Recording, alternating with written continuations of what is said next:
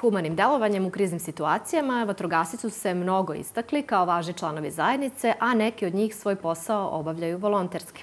Najstarije dobrovoljno vatrogasno društvo u Novom Sadu obeležilo je 150 godina postojanja, a tim povodom njih je posetila i naša dežurna ekipa. Tamo je sada i naša Katarina Mišić. Katarina, evo za početak da preneseš i naše čestitke.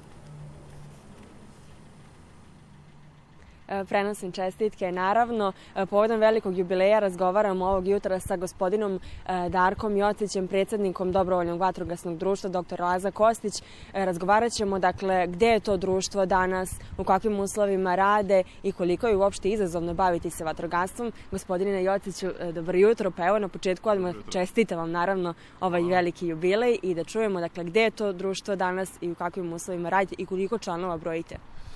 Pa situacija danas je ovako. Prvo, hvala vam na čestitkama. Ovo društvo postoji već 150 godina i da kažemo, to je jedine starije institucije da kažem, organizacije od ovog društva su Srpsko narodno pozorište i Matica Srpska u Novom Sadu.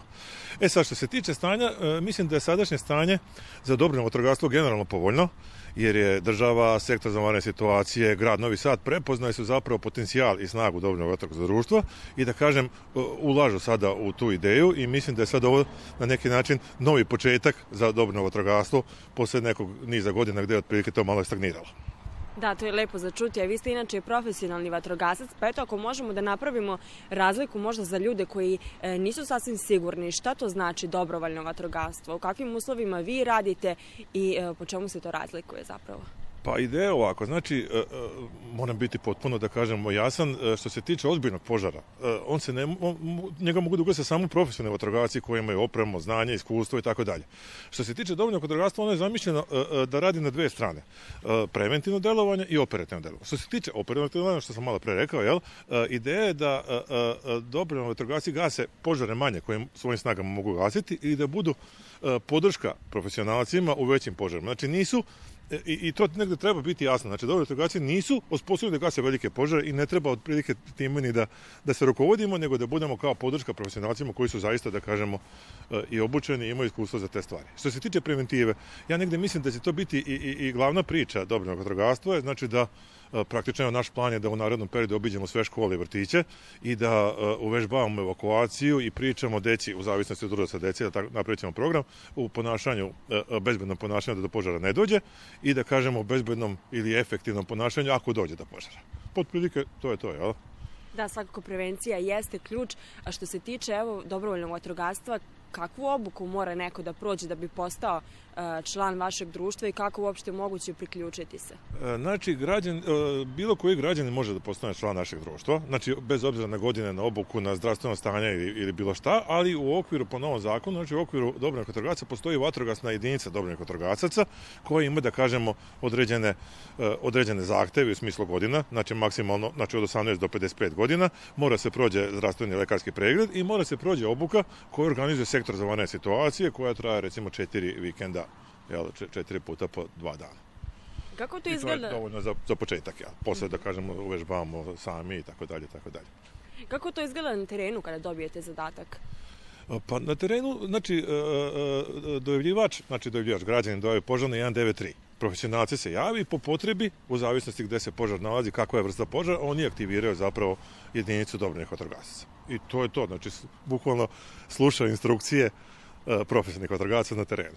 Da. E, osim, osim ako je požar manji, pa sami ugasa. Recimo, uh, ideja je zapravo najviše kad, je, kad su letnji periodi, kad su požari travo na otvorenom prostoru, znači dobri vatrogasni jedinice su osposobljeni da samostalno ugase taj požar i to jeste ideja. Dok oni samostalno gase požar, rasterećena je profesionalna vatrogasna jedinica koja je spremna da kažemo za ajde da tako kažemo, zbiljnije požare. Da, zbiljnije situacije. Da građani budu sigurni, tako je. Apsolutno, to i jeste najvažnije zapravo. A šta tu mora da ima jedan vatrogasac, evo? Kako biste ga vi opisali? Pa sad to mi je malo komplikovano pitanje. O... Mora da bude hrabar pre svega, a evo u slučaju pa ja dobrovoljnog... Ja ne bi tako rekao. Znači, mm -hmm. ovo je posao kao i svaki drugi, znači nismo mi hrabri vatrogasci, nego smo mi obučeni, imamo dobru opremu, imamo iskustvo i to nas čini.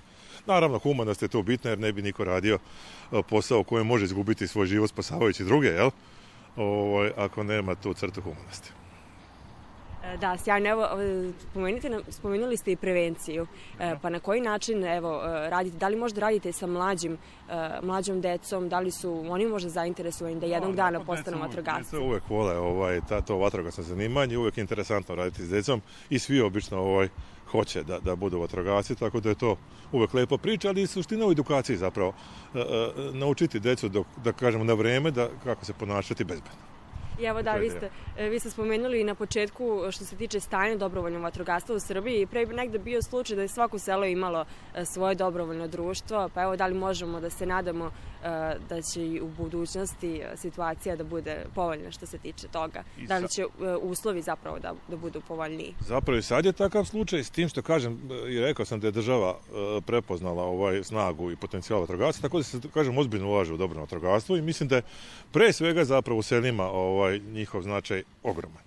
Jer primjera radi, evo sad kisač do kisača nama treba 20 minuta, profesionalnim trgacima treba 20 minuta, a ako tamo ima dobrovnik koji će odmah funkcionisati, mogu da otpočnu makar gašenje dok ne dođu profesionalni trgaci koji će dovršiti posao na pravi da, način. Da, zaista jeste zaključak da su i dobrovoljne vatrogasna društva jednako važna e, društvo i, i, tekako, i zajednica. I tekako važna, tako je. S tim što opet, kažem, moramo postaviti stvari na svoje mesto. Apsolutno, apsolutno, mislim da smo to i uspeli. E, čestitam vam još jednom na ovom jubileju i sve, e, sve do, najbolje. Hvala vam. Hvala vam.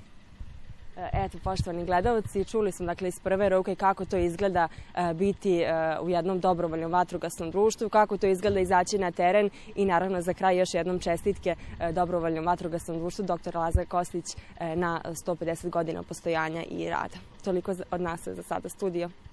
Jeste, Katarina, i mi čestitamo isto ovim dobrovoljcima i da nastave tako dobro da rade kao i do sada. Hvala Katarina i tebi na ovom javljanju.